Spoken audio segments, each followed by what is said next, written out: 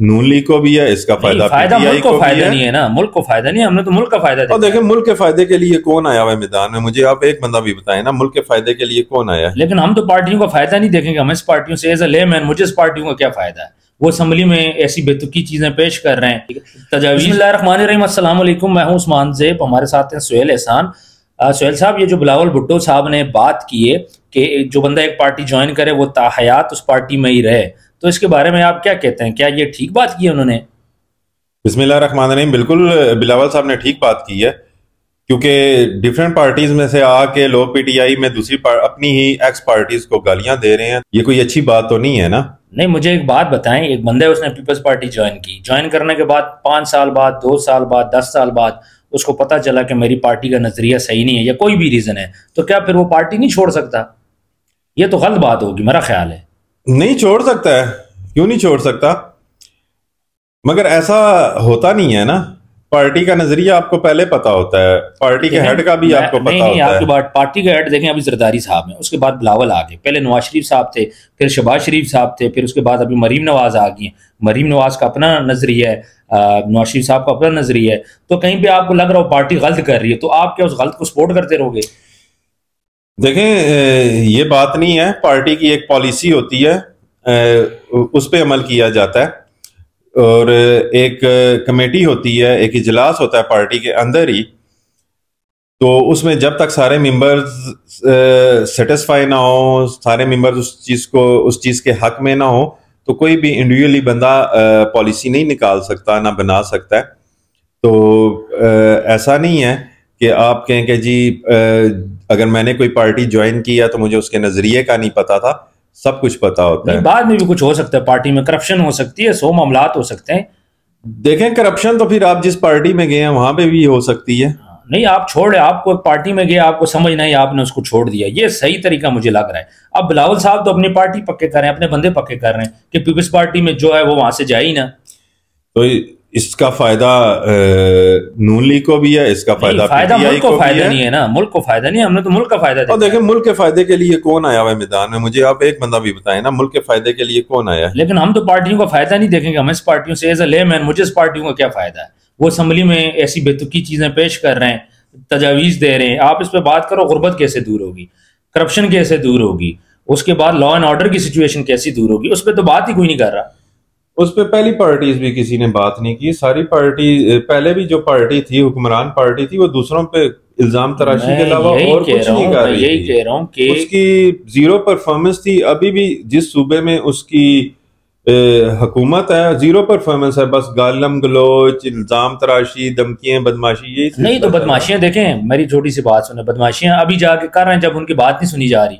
जब आपकी बात कोई नहीं सुनेगा तो फिर आपने गालम गलोच यही करनी है, और क्या करना है आपने? तो जब आपके पास साढ़े चार साल, साढ़े तीन साल हुकूमत थी, उस टाइम तो आपने किसी से नहीं कोई बात करनी थी ना? आपने जो भी जो भी पॉलिसी बनानी थी, जो कुछ करना था, आपकी अपनी गवर्नमेंट थी। आप करते उस टाइम उस टाइम भी यही था जी के जलसे हो रहे हैं, रैलियाँ निकल रही हैं, जुलूस हो रहे हैं, और एक दूसरे जो दूसरी पार्टीज़ है, मुल्क की उन, इदारे मुल्क के उन पे इल्ज़ाम लगा रहे हैं जो आपको जी जी करता है, खुशामद करता है, आप उसके साथ हैं, जो आपकी पॉलिसी से इख्तलाफ करता है, किसी भी पॉलिसी अवल तो पॉलिसी थी ही नहीं स्वाय गालम गलोच के। कौन सी पॉलिसी थी? मुझे बताएँ ना आप, उस्मान साहब। आप तो एक पार्टी की बात कर रहे हैं, मैं एक पार्टी की तो बात ही नहीं कर रहा, मैं ये कहना चाह रहा हूँ कि तमाम पार्टीज़ को देख लें, उससे पहले क्या पॉलिसीज़ थी? कर्ज लेना हमारे मुल्क की एक ही पॉलिसी है, एक तो सूद पॉलिसी है हमारे मुल्क की, कि भाई आपने सूद लेना है और सूद देना है, दूसरी हमारी पॉलिसी है कि हमने उधार लेना है। उसके अलावा और की इन पचहत्तर छिहत्तर सालों में पॉलिसी क्यों नहीं बनी? तो जो दूसरी भी देखे ना। जो दूसरी पार्टीज़ थी उनकी चलें यही पॉलिसी थी। अगर उस पॉलिसी का रिलीफ अवाम तक तो पहुँचा है ना ये जो पार्टी एक्स पार्टी थी एक्स प्राइम मिनिस्टर साहब थे जिनकी पार्टी थी उन्होंने कर्ज भी लिए दूसरी पार्टी से ज़्यादा कर्ज लिए मगर उसका रिलीफ अवाम तक नहीं पहुँचा। ना उसके टाइम में तो खैर आवाम बड़ी खुशहाल थी अभी के मुकाबले में। देखें आपके कोविड भी गुजरा तो देखें फिर आप ये बात ना किया करें उस्मान साहब के अभी के मुकाबले में फिर आपने मुकाबला करना तो फिर 2013 से मुकाबला करें ना 2018 से भी मुकाबला करें ना। 2018 में महँगाई की शरह क्या थी? मैं और महँगाई की- 2022 में मैं जब बात नहीं कर रहा। मैं इनकम की बात कर रहा हूँ। सोर्स ऑफ़ इनकम भी थे। अभी देखें अभी क्या सिचुएशन है इस टाइम पे? सिचुएशन खराब हो रही है ना? दिन ब दिन मैं ये नहीं कह रहा कि पिछली पार्टी आप बात कर रहे हैं कि मुल्क में सवाए प्रॉपर्टी के बिज़नेस के अलावा और कोई बिज़नेस मुझे ये बात कोई इंडस्ट्री नहीं चल रही थी। पाकिस्तान कर्जा लेने ऑटोमोबाइल इंडस्ट्री बंद हो चुकी हुई थी पाकिस्तान में आपके पीटीआई के दौर में आपसे पहले भी तो देखें, मेरी छोटी सी बात सुने, सिर्फ़ पीटीआई गवर्नमेंट ने कर्जा नहीं लिया, उससे पहले भी कर्जा लेते रहे। कर्जा लेना गलत चीज़ है, मैं मानता हूँ। पीटीआई की कुछ पॉलिसीज़ गलत थी, लेकिन कुछ चीज़ें उन्होंने अच्छी भी की हैं। जिस तरह आपका सेहत कार्ड हो गया। अच्छा है केपी के अंदर लॉ एंड ऑर्डर की सिचुएशन बहुत अच्छी है, जो हमारी पुलिस है, लोगों को बड़ा फेवर करती है। ऊपर से बिलावल साहब अभी ये नई चीज़ ले आए कि भाई आप ऐसा करो। तो ये जो तरमीम हो रही है तो इन तरमीम का क्या फ़ायदा है? इन तरमीम का ये फ़ायदा है कि जी, जो लेट्स सपोज़ के पीपल पार्टी में था या नून लीग में था, वो पीटीआई में गया है। या जो कोई पीटीआई में था, वो नून लीग में आया, वो पीटीआई को ना गालियाँ दे। उसको बुरा भला ना कहे। अगर नून वाला पीटीआई में गया है तो वो नून लीग को ना गालियाँ दे। क्योंकि लॉयल्टी तो आपने लीडर के साथ शो करनी है, और लीडर अच्छा करे, बुरा करे अच्छा कहे, बुरा कहे, वो आपने बोलना ही है। तो इसका बेसिकली यही फ़ायदा है कि पार्लियामेंट का जो अमन है, वो बरकरार रहे। पार्लियामेंट अवाम की खिदमत के लिए बनी है। अवाम की खिदमत के लिए उधर सर जोड़ के बैठे अपोजिशन बैठे गवर्नमेंट बैठे और अवाम को किसी तरह महँगाई के चुंगल से, बेरोजगारी के चुंगल से निकालने में कोई पॉलिसी बनाए। अपोजिशन कोई सजेशन दे गवर्नमेंट को कोई पॉजिटिव तरीके से इस पार्लियामेंट को चलाया जाए।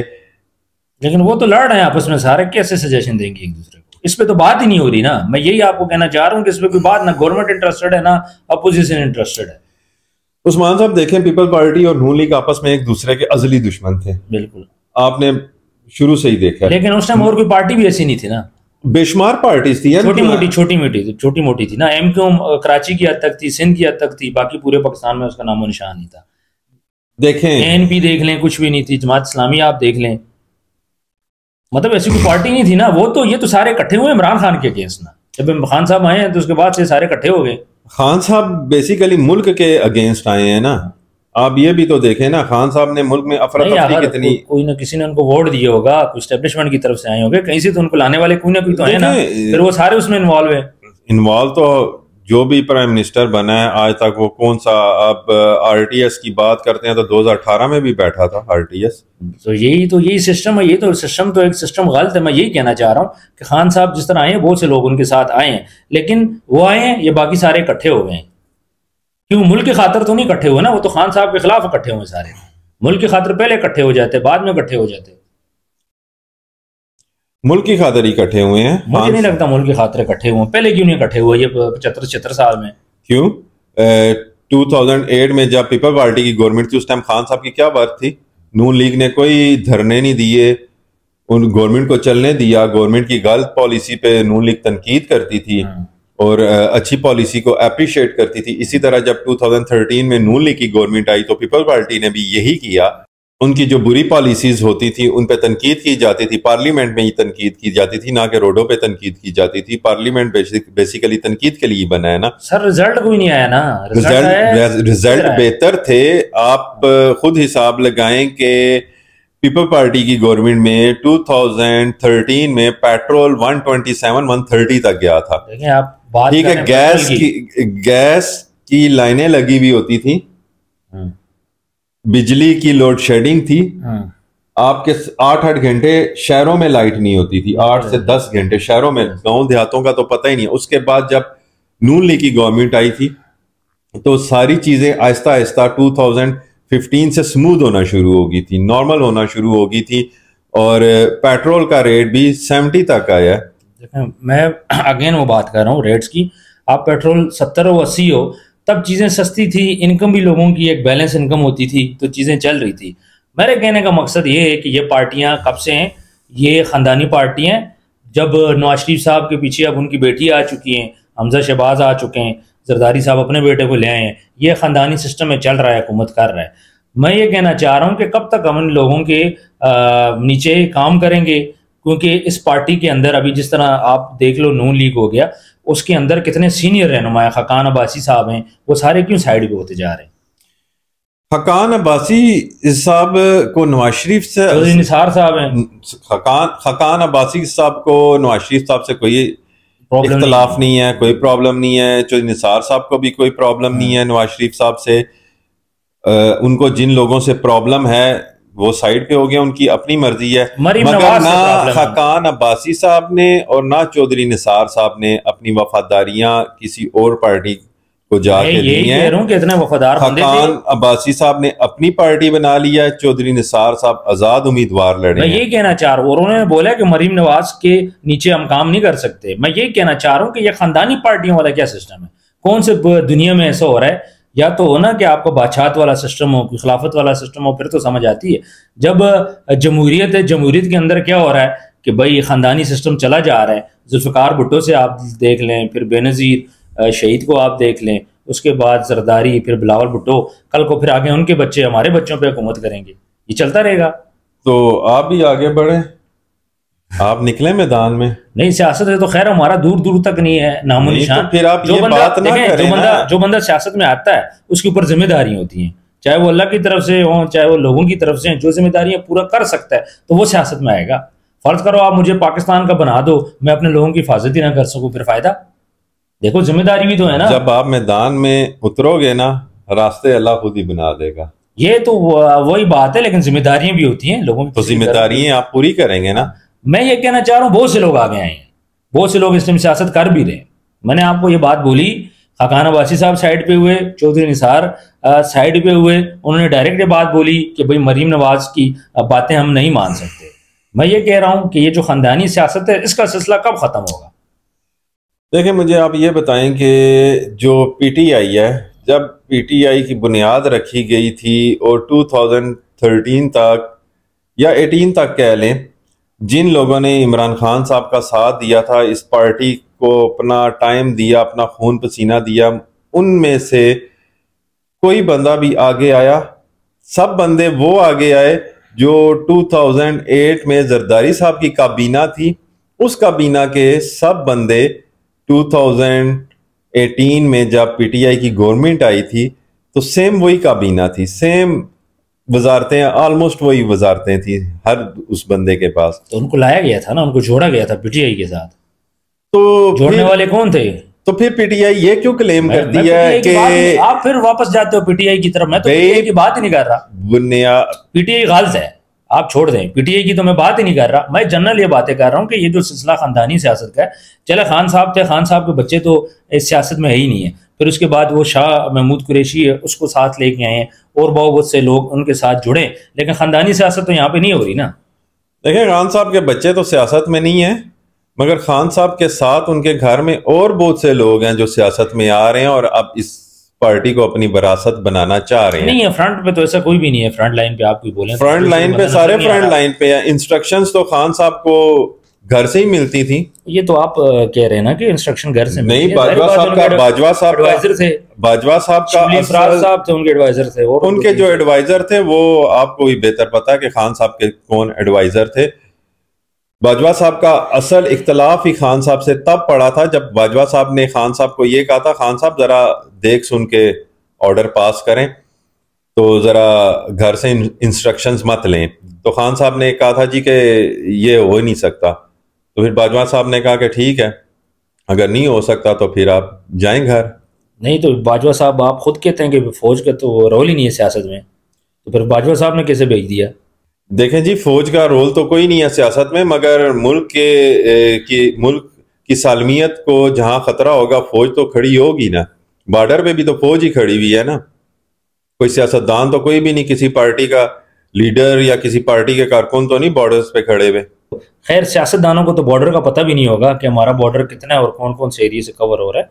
अगर आप इधर सैचिन वाली साइड या उस साइड पे आपको जाने का हुआ हो आप वहाँ पे उस साइड पे गए हो तो आपको पता लगे कि फौज वहाँ पे क्या कर रही है। इस ठंड के अंदर जहाँ minus twenty minus twenty five तक टेम्परेचर है। देखें आप अवाम को ना अवाम के जहनों में फौज के लिए नफरत मत पैदा करें। ये पैगाम मैं दे रहा हूँ पीटीआई वालों को। नहीं आप पूरे पाकिस्तान को देना आप सिर्फ़ पीटीआई वालों को क्यों दे रहे हैं? पूरे पाकिस्तान में कोई नहीं नफरत करता? उनके अगेंस्ट है वो पश्तीन वो अगेंस्ट हैं। इसी ठीक है आप अगेंस्ट हो तो फिर जाए सियाचिन पे जाके आप ड्यूटीज़ दे। जो आज जर्नैल है वो सेकंड लेफ्टिनेंट से स्टार्ट हुआ था। ठीक है? जब वो कैप्टन था तो उसने छह महीने जाके सियाचिन में लगाए थे। आप एक दिन जाके लगाए। किसके लिए लगाए थे? मुल्क की सालमियत के लिए लगाए थे। और हर ऑफिसर अगर उसका बाप भी जर्नल है ना तो वो उसकी सिफारिश नहीं कर सकता कि मेरे बेटे को नहीं भेजना। पोस्टिंग रुक नहीं सकती। हर ऑफिसर ने जाना है। और अभी ये जो फैज हमीद वाला कोर्ट मार्शल है तो आप क्या कहते हैं इसकी इन्वेस्टिगेशन ठीक हो रही है? अगर इन्वेस्टिगेशन ना करनी होती ना तो फैज हमीद साहब पे पर्दा डाला जाता और उनको सेफ़ साइड दे के ना निकाल दिया जाता कहीं और गंडापुर साहब तो बोल रहे हैं फैज हमीद ने जो भी किया वो तो एजेंसियों का रिप्रेजेंटेटिव था हमने तो उसी की बात माननी थी। उन्होंने तो सारा कुछ फैज हमीद और हमारी फौज पे डाल दिया है। तो गंडापुर साहब के पास अपना दिमाग नहीं था? वो कह रहे थे इसका मतलब है कि गंडापुर साहब बिल्कुल नालायक थे। वो इंस्ट्रक्शंस ले रहे थे। उनको सब्ज बाग दिखाए जा रहे थे। तो वो उनकी मान रहे थे गंडापुर साहब को अपनी अकल से काम लेना चाहिए था ना? फौज के साथ मिल के चलना था ना। ये आगे उनकी रिप्रेजेंटेटिव थे। तो बस वो मिल के चले उनके साथ। ये अभी इन्वेस्टिगेशन में सब चीज़ें सामने आ जाएँगी। अगर किसी एक ऑफिसर की मिस्टेक थी, जो कि उसकी अपनी लालच थी ऑफिसर की शायद हेड बनने की आर्मी चीफ बनने की तो सियासतदान को भी अपना दिमाग इस्तेमाल करना चाहिए। आप हर दूसरे बंदे पे उंगलियाँ उठा रहे हैं। कि ऐसा नहीं होना चाहिए था ऐसा नहीं होना चाहिए था। फलानी पार्टी आर्मी की गोद में बैठ के आई फलानी पार्टी आर्मी की गोद में बैठ के आई। तो जब आप आर्मी आर्मी आपको अपनी गोद में बिठा रही थी ना तो आपको उसी टाइम ये कह देना चाहिए था नहीं जी हमने आपकी गोद में नहीं बैठना। हम स्ट्रगल करेंगे अवाम की वोटों से आएँगे आगे और सारी पार्टीज़ को मिला के आप चलते। आप भी ने, आपने भी तो यही काम किया ना जो बाकी पार्टीज़ कर रही थी। तो आप में और उनमें क्या फ़र्क है? कोई फ़र्क नहीं है। चलें जी ये हम थोड़ा सा टॉपिक से हट रहे हैं। बात बिलावल साहब की हो रही थी। तो बस अब ये जो सारा सिनेरियो चल पड़ा है एट द एंड अभी मुझे बताएँ रिज़ल्ट क्या आएगा? ऊपर से गंडापुर साहब बोल रहे हैं कि मैं आऊँगा मीनारे पाकिस्तान जलसा करूँगा। उसकी तैयारियाँ चल रही हैं डोर टू डोर कंपेनियाँ हो रही हैं। गंडापुर साहब का हक है जलसा करने का आए। मीनारे पाकिस्तान में जलसा करें मगर उधर रोने धोने ना रोएँ। उधर अवाम को इस महँगाई के चुंगल से निकालने की ना कोई पॉलिसी बताएँ कि आपकी पार्टी ये ये इकदाम करेगी। वो अब चूरन नहीं बिकेगा, एक करोड़ नौकरी, पचास लाख घर एक्स वाई जेड ये चीज़ें अब नहीं चलने वाली और ये इदारों पे तनकीद, पार्टीज़ पे तनकीद, ये लोग बोर हो चुके हैं, ठीक है? इंटरटेन होने जाते हैं लोग, चलें शुगर मेला लगा हुआ है, आज के इस महँगाई के दौर में चलें शुगर मेला जाके दे आप आए मीनार पाकिस्तान में जलसा करें पुरमन जलसा करें, अवाम को एतमाद में लें और आगे कंटिन्यू करें। इस वीडियो को एंड करते हैं। व्यूवर्स कमेंट सेक्शन में आपने बताना है कि आपको आज की वीडियो कैसी लगी और नेक्स्ट जो पीटीआई का अभी जलसा हो रहा जा रहा है लाहौर के अंदर, उसके बारे में आप अपनी राय ज़रूर दीजिएगा। मिलते हैं नेक्स्ट वीडियो में। अपना ढेर सारा ख्याल रखिएगा। अल्लाह हाफिज़।